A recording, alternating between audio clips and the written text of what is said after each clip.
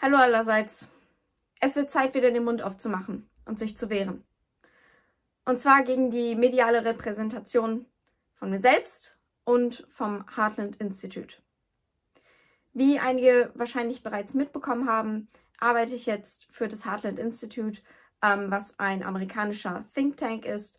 Und ich weiß, das klingt sehr ominös und so, als stecke da irgendetwas ganz Konspiratives hinter. Und äh, wahrscheinlich werde ich aufgebaut wie eine Anti-Greta der rechten, konservativen Seite, ähm, um irgendwelche äh, finanziellen Bedürfnisse großer amerikanischer Konzerne zu befriedigen. Und genau diesen Eindruck hatten offenbar auch ZDF und Korrektiv, weswegen sie Spitzel in unsere Reihen setzten. Ich war, wie einige vielleicht wissen, in München bei der Klimakonferenz von Eike im November letzten Jahres und dann nur eine Woche später in Madrid auf der Klimakonferenz des Heartland Institutes.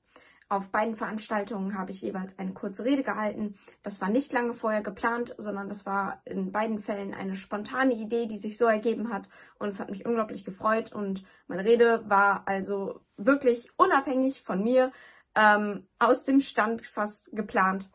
Und ähm, ja, wir wurden überwacht von Menschen, die sich ausgaben als Freunde von uns. Ähm und das ist es ganz ehrlich, was mich am meisten trifft. Es waren zwei Personen anwesend, mit denen ich mich persönlich länger unterhalten habe, mit denen ich gemeinsam beim Abendessen gesessen habe und mit denen ich gelacht habe. Und ich habe rein gar nichts zu verstecken. Mir kann jeder alle Fragen stellen, die er will. Und auch die Fragen, die ich von Ihnen, ZDF und Korrektiv per E-Mail bekommen habe, ähm, dazu, wie viel Gehalt bekommen Sie vom Heartland Institute? Wie sieht Ihre Arbeit genau aus für das Heartland Institute? Haben Sie jemals Geld von Eike gezahlt bekommen? Alle diese Fragen, ich habe kein Problem damit, die zu beantworten, theoretisch. Aber ich lasse mich nicht terrorisieren. Und wenn ich erfahre, dass Menschen, die sich freundlich mit mir unterhalten haben, denen ich Komplimente für ihre Frisur gemacht habe. Dass das Spitzel waren, die mich mit Kugelschreiberkameras unter dem Tisch ausgehorcht haben. Für ihre bescheuerte Agenda und angeblich, um darüber aufzuklären, wie korrupt das Heartland Institute ist und ähm, dass ich eine reine Marionette des Heartland Institutes bin. Das ist traurig. Das ist extrem traurig und das hat mich wirklich fertig gemacht. Aber ich lasse mich davon nicht unterkriegen. Ich lasse mich davon nicht entmutigen. Auf keinen Fall. Ganz ehrlich, jetzt erst recht. Meine Intention bei dem Ganzen ist nicht, Fame zu gewinnen, ist nicht Geld zu verdienen. Mir ist das wirklich ziemlich egal. Ich lebe hier zu Hause bei meiner Familie, in meinem kleinen Zimmer und ich bin vollkommen zufrieden und mehr brauche und will ich nicht. Aber was ich will, ist, dass diese Meinungsdiktatur aufhört. Ich will, dass es möglich ist, wissenschaftliche Skepsis wieder anzubringen. Das ist alles. Wenn wir recherchieren, dann recherchieren wir tiefgründig und dann gehen wir nicht an die nächste rechtskonservative Quelle, weil sie uns irgendwie in unsere Agenda passt. Wir haben nämlich keine Agenda. Hinter uns steht keine Ideologie, hinter uns steht kein Fridays for Future. Wir haben nichts Cooles anzubieten wie den Community Spirit der demonstrierenden Jugendlichen auf der Straße. Sondern wir haben nur Wissenschaft. Aber genau das ist es, was uns ausmacht und was uns glaubwürdig macht.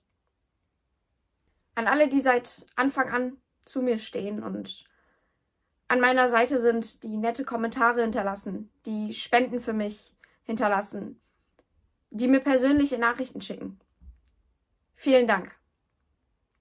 Und auch an alle, die langsam aufwachen und vielleicht ihre ehemaligen Ansichten hinterfragen und zum Klimarealismus kommen oder ähm, einfach nur Skepsis anbringen, was die mediale Repräsentation der Klimarealisten betrifft. Ich danke auch euch.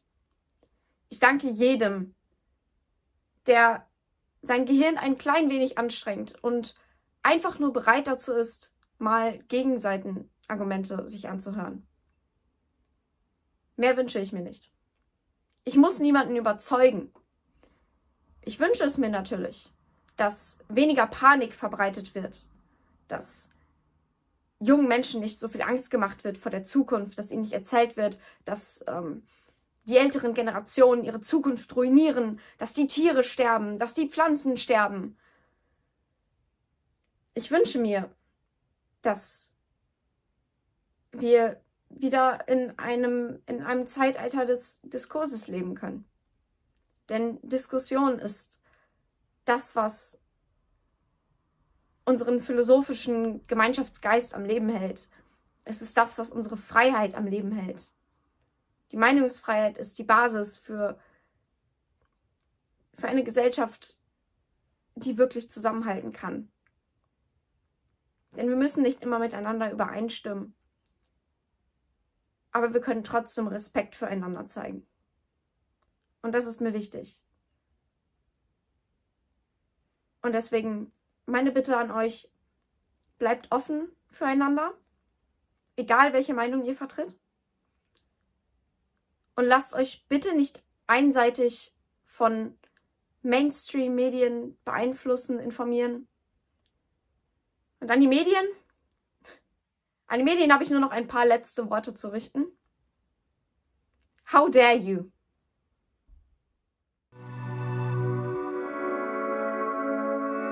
I don't want you to panic. I want you to think.